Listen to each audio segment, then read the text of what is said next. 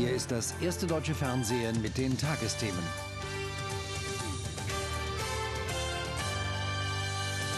Guten Abend, meine Damen und Herren. Im Zweifel für den Gentest. Der Mensch darf in die Schöpfung eingreifen. So entschieden heute die Volksvertreter allein nach ihrem Gewissen. Unsere Tagesthemen. Beschlossen, Bundestag gestattet Präimplantationsdiagnostik. Bespitzelt das skandalöse Ende einer Boulevardzeitung. Und bereinigt, Birgit Prinz akzeptiert Platz auf der Ersatzbank. Ein Kind zu bekommen heißt heute immer weniger, sich auf Ungewisses einzulassen. In der Medizin gibt es mittlerweile viele Möglichkeiten, zumindest den Beginn des Lebens zu lenken. So starben Ende des 19. Jahrhunderts noch 250 von 1000 Kindern innerhalb der ersten fünf Lebensjahre. Heute sind es maximal fünf. Ein Fortschritt?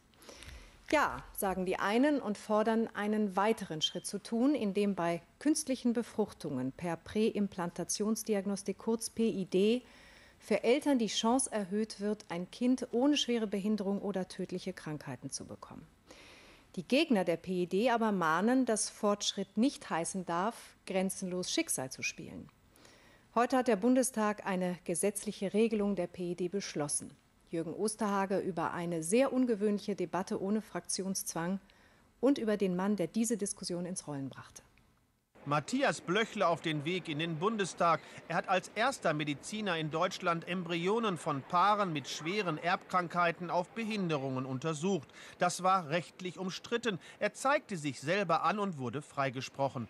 Die Debatte über die PID, die Präimplantationsdiagnostik, begann. Nun hofft Blöchle, der Bundestag schaffe Zumindest einen Zugang, damit die allerschwersten genetischen Störungen in diesen Familien untersucht werden können und vermieden werden kann, dass die Frauen wiederholte Fehlgeburten und Totgeburten erleiden müssen. Der Deutsche Bundestag ringt um eine Entscheidung PID ja oder nein. Die Debatte ernst und hochemotional über alle Parteigrenzen hinweg. Die Gegner warnen vor einer Zukunft mit Designerkindern. Die künstliche Befruchtung bekäme eine neue Dimension. PID bedeutet Selektion. Unter den künstlich hergestellten Embryonen werden die einen ausgewählt und die anderen verworfen. Es wäre quasi eine Zeugung auf Probe. Es geht gar nicht um den Streit, wann das Leben beginnt. Es geht um diese Unterschiedlichkeit. Wollen wir sie zulassen in unserer Gesellschaft, ja oder nein?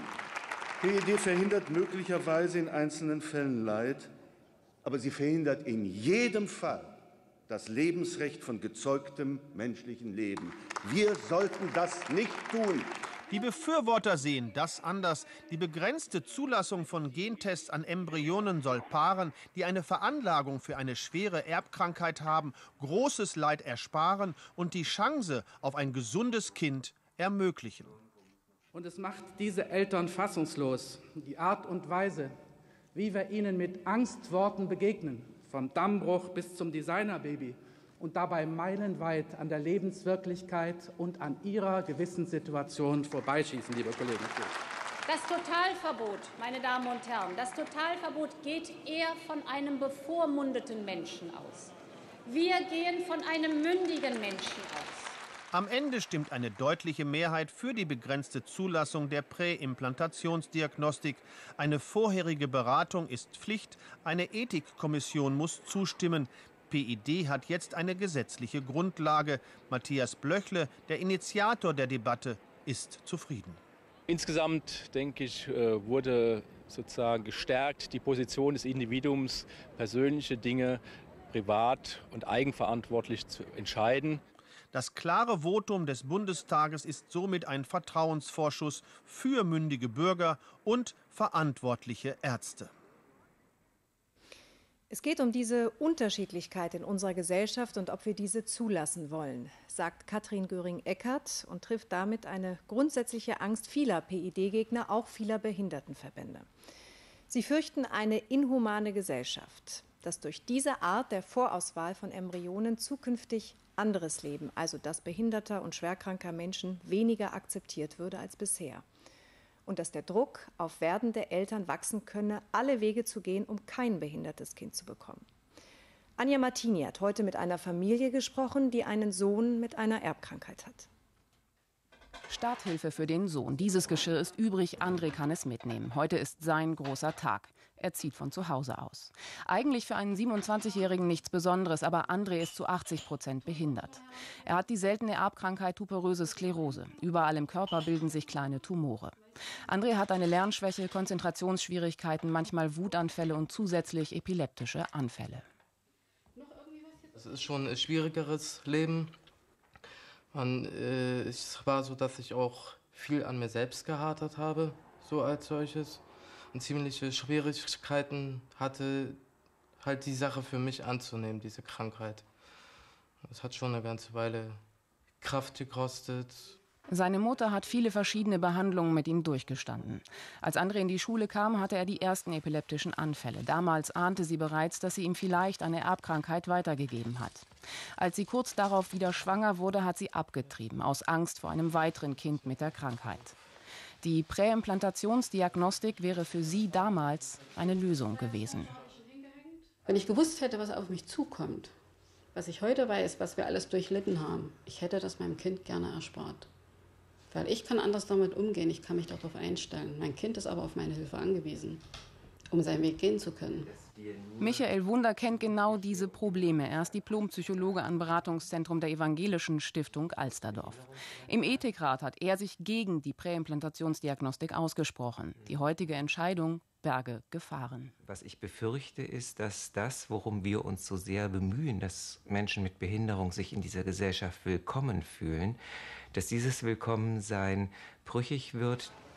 Aber ist die Präimplantationsdiagnostik dafür wirklich verantwortlich? Nein, sagt Professor Diedrich. Er gehört zu den führenden Reproduktionsmedizinern Deutschlands. Weniger als 10 Prozent der Behinderungen, sagt er, sind vererbbar. Die meisten Behinderungen entstehen durch Komplikationen bei der Geburt oder durch Unfälle. Mediziner können mit der PID nur eine Erbkrankheit ausschließen, aber keine Garantie für ein gesundes Kind geben. Vom befürchteten Baby nach Wunsch sei die Wissenschaft weit entfernt. Die blauen Augen werden durch so viele Gene bestimmt und vererbt, dass sie all diese Gene gar nicht erkennen können.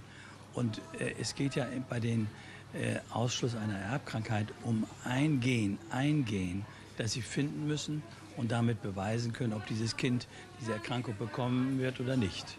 Für Familie Reitzing liegt kein Widerspruch darin, ein ungeborenes Leben mit einem schweren Erbfehler zu verhindern und gleichzeitig einen Menschen mit einer Behinderung zu fördern. Als nächstes will André versuchen, einen Job zu finden, vielleicht als Koch. Natürlich wird ihn seine Mutter dabei nach allen Kräften unterstützen. Ja, das Abstimmungsergebnis im Bundestag heute war mit 326 zu 260 zwar nicht unbedingt knapp, aber es macht deutlich, dass der Bundestag gespalten ist in zwei ähnlich große Lager.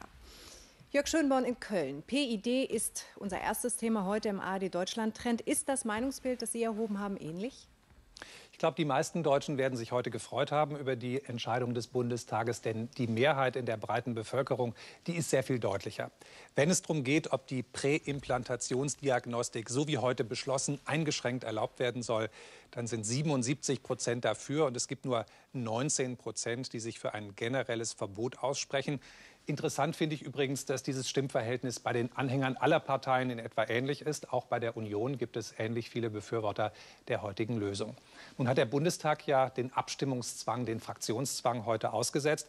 Das ist vielen Befragten positiv aufgefallen und sie wünschen sich das sogar öfter. 31 Prozent haben uns erklärt, er solle grundsätzlich abgeschafft werden. Weitere 50 Prozent wollen, dass er wenigstens häufiger ausgesetzt werde. Nur 12 Prozent sind Anhänger des Fraktionszwangs. Im Bundestag machen sich ja viele Gedanken darüber, ob das Parlament an Bedeutung verliert. Ich habe den Eindruck, wenn man da was gegen tun will, kann man hier einen Schlüssel finden. Mhm. Danke, Jörg Schönborn, für den Moment, dass die Menschen durchaus erkennen, welche Entscheidungen in der Politik ehrlicher oder taktischer Natur sind. Darum geht es auch gleich nochmal, wenn wir unter anderem über die geplanten Steuersenkungen der Regierung sprechen werden, dann im zweiten Teil des Deutschland-Trends. Zunächst aber kommentiert die Abstimmung im Bundestag. Kann man